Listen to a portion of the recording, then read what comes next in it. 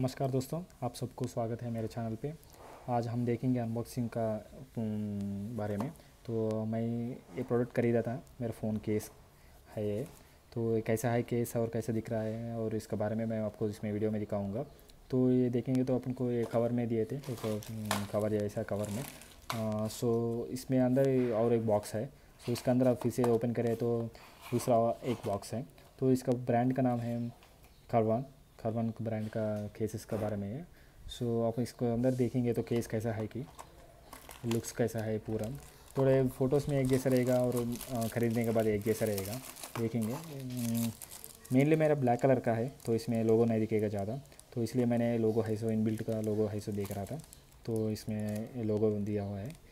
तो कवर फिर से कवर में प्रोटेक्शन करके है था। ये किस किस को इस्तेमाल कर सकते सेवन प्लस एट प्लस के इस्तेमाल कर सकते हैं।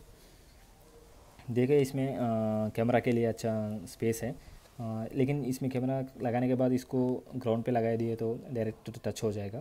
तो इसको आपको ग्लास भी इस्तेमाल कर सकते हैं। लेंस के लिए भी ग्लास भी है अ, वो भी दिखाऊँगा आपको कैसा रहेगा। तो ये देखिए इसको मिरर टाइप इस्तेमाल कर सकते हैं इधर। अच्छा शाइनी है। इसमें अपन को पूरा लोगो दिखेगा पूरा डिटेल्स दिख रहा है। ये ब्लैक बैक साइड पूरा इसमें देखे तो ब्लैक कलर में है। सो साइड्स पूरा भी ब्लैक कलर रबर मॉडल है। स्ट्रांग है, उतना ज़्यादा इजी से फोल्ड नहीं हो रखा रहा है। साइलेंट मोड में लगाने के लिए भी है ऑप्शन और चार्जर लगाने के लिए भी स्पीकर्स के आउटपुट भी अच्छा है। पूरा अच्छा दिया है। ये वॉल्यूम बटन के लिए नहीं है इधर तरफ़ है वॉल्यूम बटन्स तो इसके लिए भी अच्छा है। और ये भी पावर बटन अच्छा दिया है।